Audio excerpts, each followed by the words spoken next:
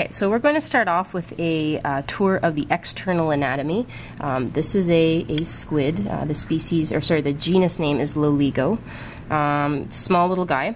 Uh, one of the things you might notice right away on the skin um, is, is that it has a very mottled appearance. There are lots of tiny little um, colored areas, little dots. Those are called chromatophores.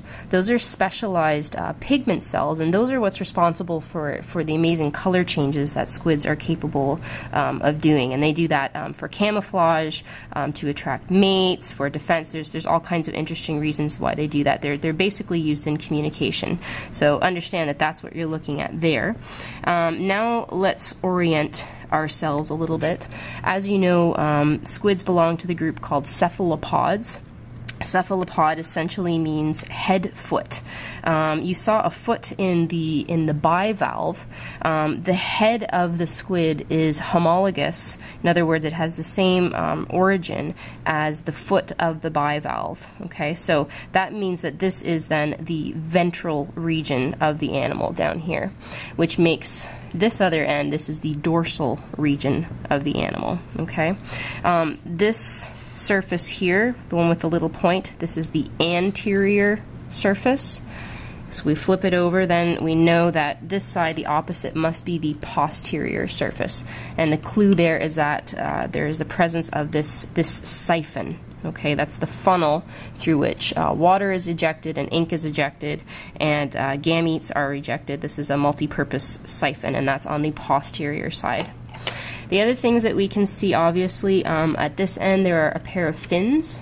Okay, so one fin, two fins here. And those are obviously used in uh, locomotion. Um, they use these to swim, um, to maintain balance, change direction, that sort of thing. At the other end, at the head, there are a pair of eyes. Um, they're not very well preserved in the specimen, but this is where the eye would be here and another eye here. Um, you can see it's very large relative to the body, and there's a hard structure in there. It's it's it's a lens similar to ours, um, although not exactly the same. Um, and then we also have uh, ten little appendages down here. There are two which are very long. You can see how much longer they are than the other ones. These are the tentacles.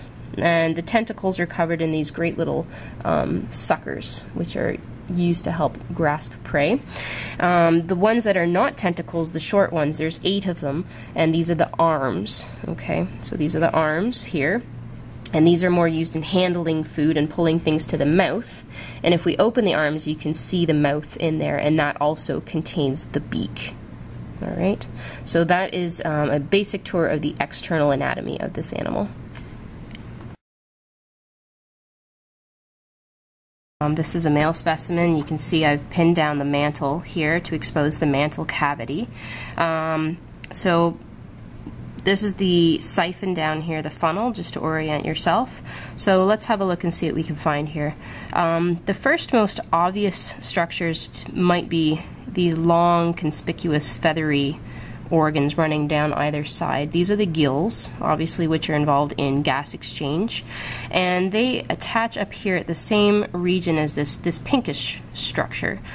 This is the multiple components of the heart and some of the main veins and arteries. The heart is, consists of three sections. You can see there's a little lobe here, and another little lobe on this side. Um, those are the branchial hearts. There's also a central heart right here that's called the systemic heart. The branchial hearts, which are closest to the gills, actually are responsible for pumping blood to and from the gills, and the systemic heart is responsible for pumping blood um, to the remainder of the of the body. Okay. The next thing that looks pretty obvious is this dark region right here. This is the ink sac. Uh, many of you know already that squids are able to eject ink, so this is where the ink is produced, and you can see that um, there's a little funnel, it comes all the way down here, and there's the end of it there, and that is able then to release ink out through the siphon, um, either as a defensive mechanism or a distraction, that sort of thing. We can also see, I'll just tip the tray a little bit so it's a little more obvious, on this side here, there's this whitish finger-like structure right here that I'm lifting, right here. That is the stomach, okay? It is in close proximity with the cecum, which is this long whitish soft bit right here that produces different digestive enzymes. So that's that's involved in food digestion. Um, once food is digested, there is a, an intestine obviously that passes down the length of the body. A lot of it's hidden by some of these other structures. But if we go down far enough, down towards the siphon, we can find right here there's a small uh, tube right here. That's actually now the rectum at this point. So the intestine is passed all the way down to the rectum and anus, and then again the uh, waste material is ejected out through the siphon. All right, um, now this is a male as I said, so we'll have a quick look at the male anatomy. Right here there's a clear uh, finger-like structure right here. That is the male testis, that's the site of sperm production. Beside it is the vas deferens. It's, it's all coiled up in the peritoneum there, but there's a long sort of loopy uh, coil of vas deferens, and that's where the sperm passes through. If I lift up the guts here, um, you can actually see there's a whitish tube running the length right here. Um, this is the penis. So sperm is produced in the testis, moves through the vas deferens, through the penis, and then again um, out the siphon. Okay. When I lifted this, you probably noticed this black area right here. This is the pen. This is made of chitin, and it's homologous to the, um, the, the valves or the shell in the bivalve. In uh, many cephalopods, there is no um, real proper shell. It's been reduced, and structure similar to this is all that's left. This runs the length of the animal and, and does provide support. In addition to the pen, there are some areas uh, with some uh, cartilage. You can see a little uh, knob right here. There's another one over here. There's more in the siphon here. So there are other um, hardened areas of cartilage that um, provide support in addition to the pen. And I think that's, uh, we'll stop there with the male.